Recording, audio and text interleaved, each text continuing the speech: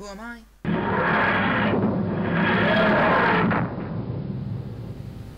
I'm the Doctor.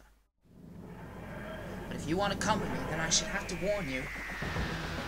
You're gonna see all sorts of things. Ghosts from the past. Aliens from the future. Mysteries involving history itself. Won't quiet, it won't be singing, won't be calm. Tell you what it will be. Trip of a lifetime.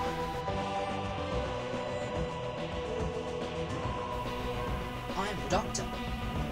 The Lost Doctor. Brace yourselves.